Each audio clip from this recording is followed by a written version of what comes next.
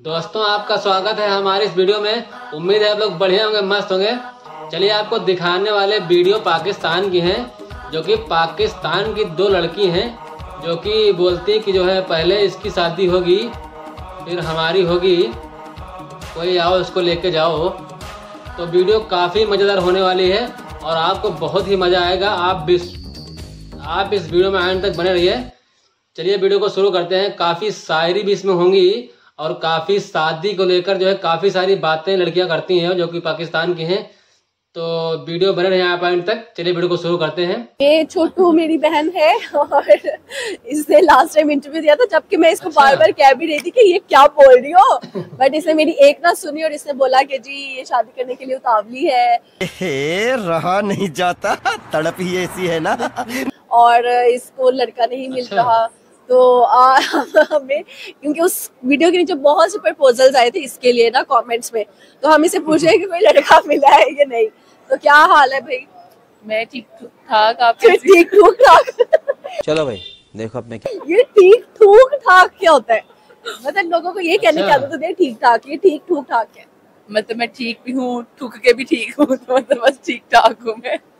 पागल हो तुम? नहीं। सीधे सीधे आंसर देने हैं मुझे। अच्छा मुझे बताओ कि लास्ट टाइम जो वीडियो थी वो बहुत ज़्यादा वायरल गई थी। एक तो वो बियर्ड वाले लड़कों की आपने एक बात की थी। दूसरा जो है वो कि मुझे लड़का चाहिए लड़का मिल नहीं रहा। शादी करनी है और शादी ही करनी है बस। तो क्या बना उसका? बस मुझे लड़का तो अभी तक नहीं मिला। मुझे रिश्ते इतने ज़्यादा है कि मैं कहीं भी जाती थी तो लोग मेरे बारे में बात कर रहे थे यार ये वही लड़की है। यार ये वही लड़की है। उसके बाद मेरे साथ एक अच्छा। बड़े मज़े का सीन हुआ और जो कि मुझे नहीं भूलता वो जो बीएड वाली जो मैंने इंटरव्यू दिया था। क्या उसमें क्या बोलता है बियर्ड वालों के बारे में? कि वो चावे लगते हैं छिली हुई मूली लगती है इस तरह से मैंने बोला हाँ, था। जो कि क्लीन शेप वाले। हाँ क्लीन शेप वालों के बारे में अच्छा। बोला था। तो क्या क्या हुआ था? अच्छा। तो मेरे पास यूनिवर्सिटी में एक लड़का आया वो काफ़ी मतलब लाइक प्यारा था ठीक है? अच्छा। लेकिन वो क्लीन शेप थी उसकी। मुझे आके कहता है आप वही हैं? मैंने कहा कौन सी? मुझे समझ आ गई थी ये किस बारे में बात कर रहा है।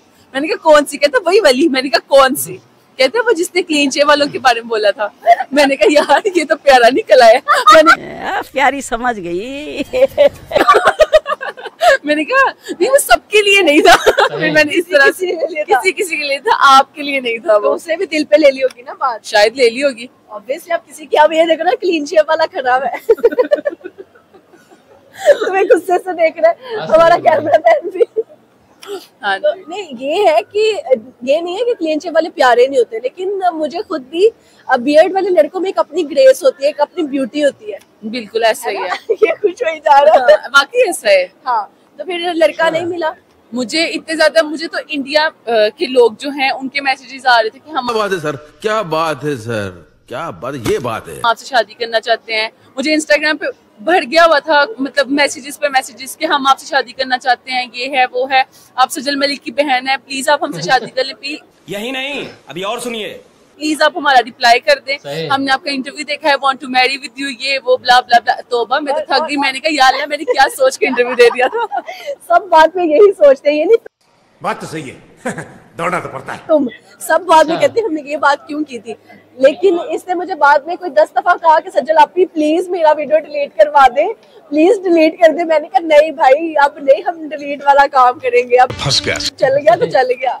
और वो तो इतना वायरल हो गया था कि मुझे मेरी टीचर्स भी भेजती थी कि ये तुम हो? मैंने कहा जी मैं ही हूँ। अरे टीचर्स के सामने तुम्हें शर्म ना आई कि लड़का चाहिए। नहीं टीचर्स को पता है मेरी। नेचर का। उसके बाद मेरी दोस्त का भाई था उसने मेरी दोस्त को मेरी वीडियो भेजी यार ये शहरी जैसी नहीं लग रही? पता चला कि वो शहरी ही है। अच्छा मतलब इतने बस बस चीज़ें हुई। बहुत ज़्यादा हुई। फिर मैंने मैंने वाकई सोचा मैंने कहा यार अल्लाह यार वीडियो डिलीट हो जाए या फिर कुछ भी हो जाए बस लोग मुझे और ऐसा होता था मैं रेस्टोरेंट में बैठी हुई और पूरा कोई यूनिवर्सिटी का ग्रुप बैठा हुआ है और वो बात कर रहे हैं यार ये तो वही वाले हैं। और पता चल जाता है कोई आपके बारे में बात करे। ऐसा ही है। और एक दफ़ा क्या हुआ मैं कैफ़े जा रही हूँ यूनिवर्सिटी में एक पूरा ग्रुप लड़कों से भरा हुआ बैठा हुआ है। और सब ऐसे लाइक इस तरह से पोज दे के ना बियर्ड वाला चाहिए। तो मैं लाइक के उनको देख रही हूँ कि यार ये मेरे बारे में बात कर रहे हैं। और सारे मुझे देख रहे हैं बियर्ड वाला चाहिए। अच्छा तो what was mama's reaction on this video मामा का मामा हँसी जाती थी देख के। कि ये वो फिर मैंने जब दिखाया कहते तेरे प्यो ने देख लेने वीडियो जरा। हाँ ना मेरी मामा पास हँसी जाती है देख के कि ये भी बोल जाएगी उनकी भी हँसी कंट्रोल भी नहीं होती। मामा कहती शर्म भी नहीं आई इसको ये बात। मामा ने तुम्हारी बेइज्जती भी की थी। हाँ कि ये तो नहीं तुम बता रही। अच्छा। वो अब इनको थोड़ी बताऊँगी। प्यारी समझ गई। वो मेरा और मामा का सीक्रेट है। चलो सही हो गया। अच्छा और बताओ कोई मज़ेदार सी चीज़? मज़ेदार सी चीज़ बस यही था कि मतलब लाइक इंटरव्यू। वो मेरा इंटरव्यू अच्छा मैं टिकटॉक देख रही हूँ पहले आपको फॉर यू पे देखती थी फिर मैं ही फॉर यू पे घूम रही थी हर जगह। और इंस्टाग्राम पे मैंने खोला कोई मुझे इतने लोगों ने भेजा यार शहरी ये तुम हो यार शहरी तुम तंग आ गई। मैं वाकई तंग आ गई मैंने कहा करो। या अल्लाह प्लीज़ वीडियो डिलीट हो जाए लोग भूल जाए कोई और वीडियो इतनी वायरल हो जाए कि मेरी वीडियो भूल जाए। एक वीडियो कुछ दिन तो ट्रेंड पे चलती ही है। बात तो सही है। कुछ दिन ही अभी तक वो ट्रेंड पे है। और मेरी अ, वो एक लड़की कहती है यार वो आप थी शहरी? मैंने कहा जी। कहती वो साथ कौन थी? मैंने कहा वो मेरी बहन थी। कहती है ओ अच्छा वो आपकी बहन है? मैंने कहा जी। कहती है माशाल्लाह माशाल्लाह शी इज़ वेरी ब्यूटीफुल समझ रहे हो? सही। समझ रहे हो आप? मैंने कहा जी मेरे बारे में क्या कमेंट है? कहती बस तुम्हें लड़का मिल जाए। यार वो वाला एक्सपीरियंस बताओ जो मॉल के अंदर तुम लोगों के साथ हुआ था। कौन सा वाला? जो सियालकोट में हुआ था वो जो एक लड़का शायद आया था आप लोगों के पास में। क्या कहता था? अच्छा। कि तो टिकटॉकर है आप ओ हाँ हाँ। हम लोग शॉपिंग कर रहे सेंशिया पे थे हम लोग उस टाइम तो मेरे पास उधर ही वो लड़का काम करता था मेरे पास आया मुझे आके कहते हैं आप टिकटॉकर हैं? मुझे लगा मैंने एक अपना पेज बनाया हुआ उस पर मैं अपना काम वगैरह अपलोड करती पेज का हूँ नाम शेरिस आर्ट ना। तो अ, मेरे पास वो लड़का आया आके कहता आप टिकटॉक करो मैं बड़ी खुश हुई। मैंने कहा कि मुझे जानता है मेरे काम की वजह से मैंने कहा जी जी मैं टिकटॉक करूँ। तो कहते हैं सज्जल मलिक मेरा साथ ही मैंने कहा "हम्म," मैंने कहा वो मेरी बहन है कहता ओ अच्छा। कहता है वो तो बहुत सेम आप वाकई उनकी बहन है। मैंने कहा जी मैं उनकी बहन हूँ। तो मतलब इस तरह के सीन्स होते रहते हैं। मुझे अच्छा। बहुत से लोग इस तरह समझते हैं कि मैं ही सजल हूँ। अभी भी हम लोग जहाँ वो गए हुए थे मोहम्मद अली के साथ तो वहाँ भी मुझे कहते सजल बैठ जाओ। मैंने कहा मैं सजल नहीं हूँ मैं सजल की बहन बस प्लास्टिक सर्जरी करा दो इसी है ना? हाँ बस ऐसा ही है। बस ऐसे लेकिन मैं इस इसके जितनी चबी नहीं हूँ थोड़ी सी ये तो मतलब ताकतवर गुंडा है। मैं थोड़ी कमज़ोर पसली हूँ। ये तारीफ़ थी कि बेइज्जती? दोनों। कोई बात नहीं मैं तारीफ़ समझ के एक्सेप्ट कर लेती हूँ। हाँ हाँ अपने घर का कोई भारी काम कराना हो तो इसको हम बुलाते हैं। लेकिन आती नहीं है तो हम बेचारे खुद ही करते हैं हैं जी? जी। अच्छा जी ठीक है। हाँ ये बहुत फनी है बहुत फनी है। तो अब फ्यूचर में क्या बनना फ़ैशन डिज़ाइनर वो तो हर दफ़ा अच्छा। मैं बताती हूँ अब कुछ और भी बन जाऊँगी पता नहीं क्या बनती हूँ। मैं हर दफ़ा बता के फ़ैशन डिज़ाइनिंग वहीं पे टक गई है वीडियो वायरल होती जा रही है। वायरल अब सिर्फ़ रिश्ता होना तुम्हारा। रिश्ता हाँ मुझे भी लग रहा है दोस्तों की मंगनियाँ हो रही हैं निकाह हो रहा है? हाँ दो दोस्तों का तो हो गया एक मेरी रह गई दोस्तों एक मैं रह गई हूँ। अब तुम लोग कब करा रहे बस इनशाला असल में इनके रास्ते में मैं हूँ। जब मेरी होगी तो फिर इनकी बारी आएगी। बात तो सही है। ऐसा ही है बस हम जल्दी जल्दी फुटकार रहे हैं फुटकार रहे हैं। आप प्लीज़ जो भी प्रपोजल आते हैं ना कोई सीरियस वाला पकड़ के ना ले जाओ इसको साथ ताकि मेरी बारी रियल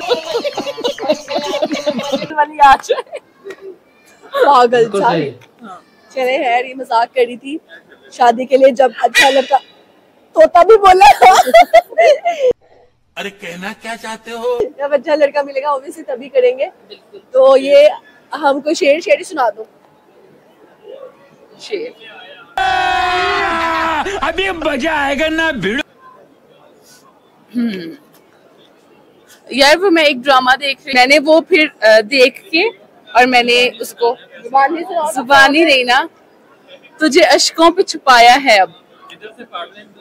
तुझे अशकों पे छुपाया है अब। चलो भाई देखो अब मैं क्या करता हूँ। तुझे पलकों पे बिठाना भी बाकी है।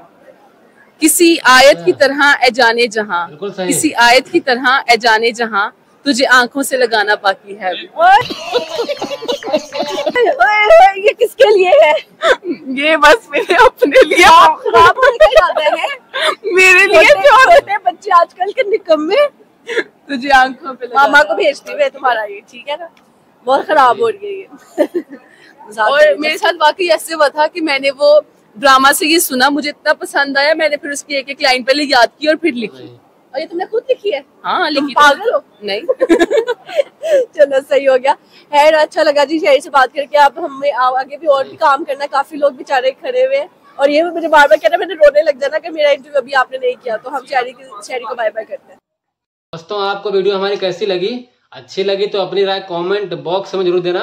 तब तक के मिलते फ़िलहाल किसी नए वीडियो में। तब तक के लिए जय हिंद जय भारत।